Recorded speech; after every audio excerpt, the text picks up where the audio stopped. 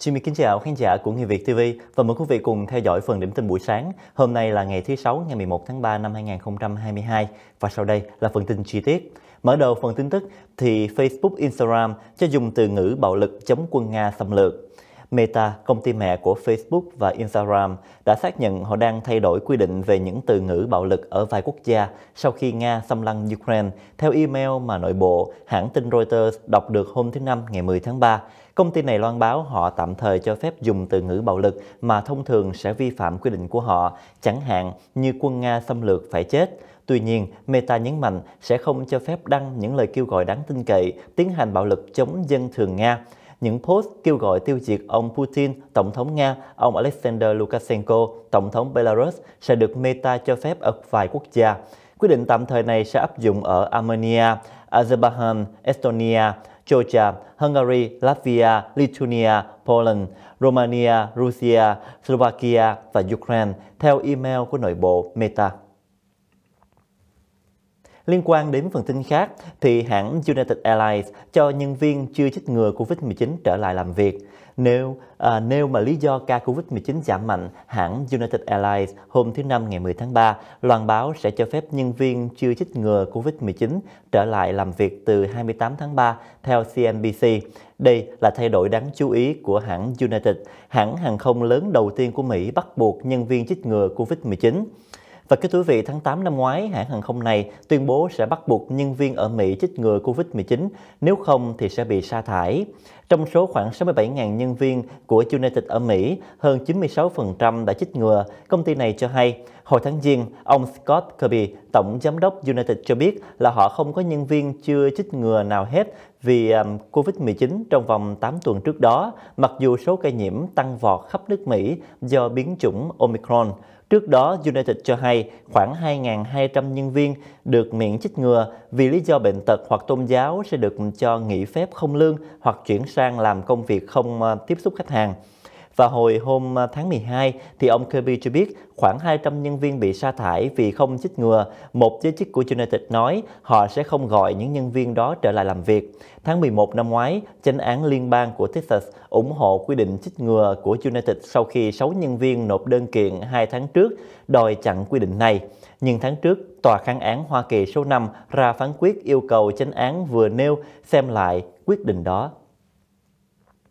Trong khi đó, thì hãng ờ, Tesla trả lương 3 tháng cho nhân viên gốc Ukraine hồi hương nhập ngũ. Trước tình hình nhiều người Ukraine trở về nước để chiến đấu, bảo vệ tổ quốc theo lệnh tổng động viên của Tổng thống Zelensky, thì công ty Tesla đã gửi email vào hôm thứ Hai ngày 7 tháng 3 thông báo chính sách hỗ trợ lương cho các nhân viên quốc gia gốc Ukraine về quê nhà nhập ngũ trong ít nhất là 3 tháng, theo CNBC. Sau 3 tháng, công ty sẽ đánh giá lại thực trạng của Ukraine và cân nhắc các chính sách kế tiếp. Kính thưa quý vị, trong email được gửi vào hôm thứ Hai, ông Arsen Tagan là giám đốc khu vực Bắc Âu của Tesla khen ngợi các nhân viên hỗ trợ SpaceX, công ty hàng không vũ trụ của ông Elon Musk, khai triển dịch vụ Internet vệ tinh Starlink tại Ukraine. Nổi bật là đội ngũ phụ trách mảng năng lượng của Tesla với trọng trách lắp ráp và thiết lập hệ thống lưu trữ năng lượng Tesla Powerwall dùng pin lithium ion để cấp nguồn cho các thiết bị Starlink tại Ukraine.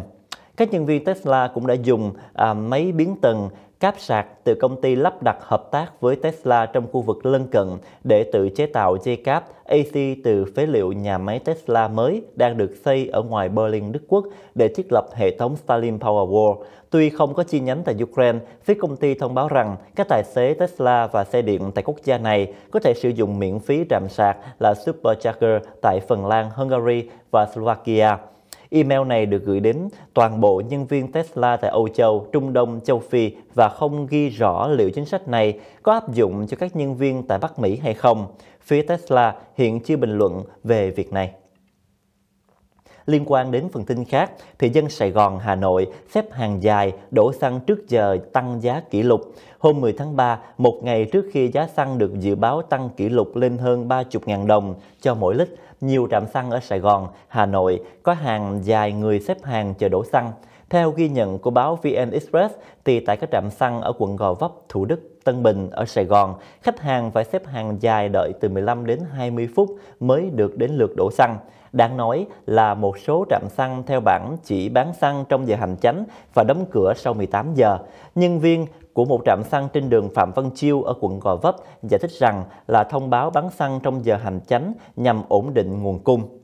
Ngoài việc hạn chế bán theo khung giờ, một trạm xăng dầu trên đường Kinh Dương Vương, đoạn gần bến xe miền Tây, quận Bình Tân đã treo bảng hết xăng từ sớm và nhân viên nơi này giải thích rằng xăng chưa về kịp nên hết hàng. Cùng ngày, theo báo Dinh, nhiều trạm xăng ở Hà Nội trong tình trạng đông nghịch khách, có những người mang theo cả chai nhựa để mua tích trữ. Bao này cũng dẫn lời ông Ngọc Anh là một tài xế xe hơi ghé vào đổ xăng nói rằng tôi đổ ít nhất là 50 lít, có thể tiết kiệm hàng trăm ngàn đồng nếu mà xăng tăng giá vào ngày mai.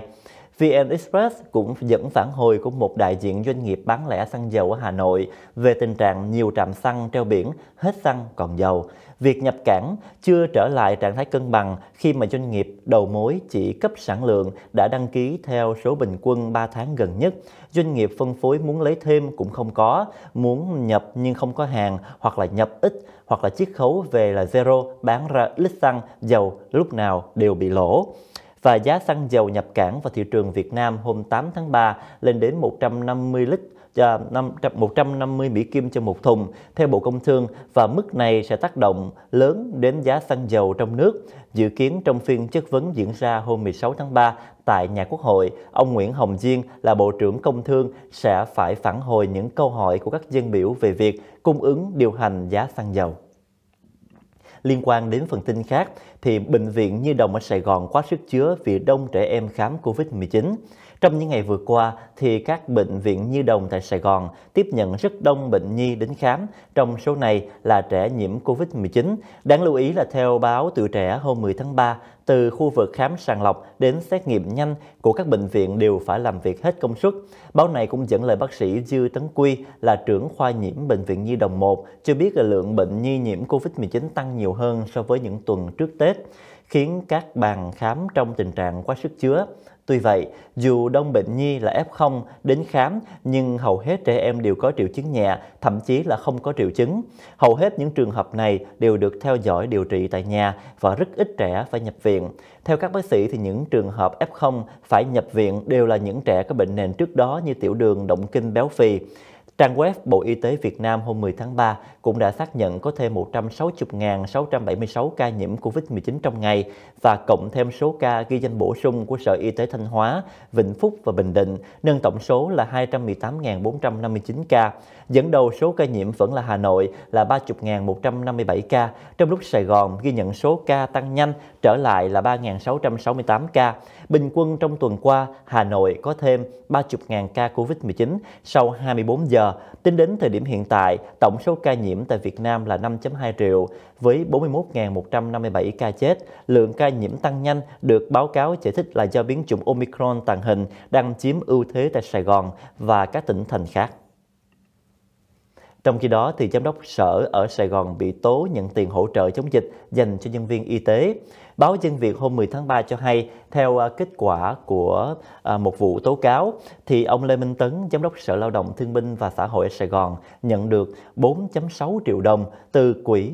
vận động phòng chống dịch COVID-19 của sở này và mục đích của quỹ nêu trên là dành cho chi tiền trợ giúp các y bác sĩ tuyến đầu chống dịch COVID-19 ở Sài Gòn. Báo Dân Việt cho biết thêm, tính đến tháng 8 2021, quỹ COVID-19 của sở này đã nhận được 461.2 triệu đồng. Tuy vậy, sau um, nhiều khoản chi do ông Tấn phê duyệt, thì nay quỹ này chỉ còn lại hơn 1 triệu đồng trong tài khoản. Liên quan đến vụ bê bối nhận tiền hỗ trợ chống dịch của ông Tấn, báo Thanh niên cho hay, hồi tháng Giêng, ông Tấn bị một công dân gửi đơn tố cáo hành vi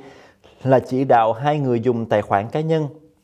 để nhận tiền đóng góp ủng hộ khắc phục hậu quả dịch Covid-19 tại trại cai nghiện Bố Lá và trung tâm nuôi dưỡng bảo trợ người bạ liệt Thạnh Lộc. Sau đó, Ủy ban Nhân dân thành phố yêu cầu ông Tấn tổ chức kiểm điểm trách nhiệm của các cá nhân có liên quan trong việc chưa công khai, minh bạch về đối tượng nhận hỗ trợ kết quả vận động, quá trình sử dụng số tiền hỗ trợ cũng như là việc sử dụng tài khoản ngân hàng cá nhân để tiếp nhận và chuyển tiền hỗ trợ chống dịch Covid-19.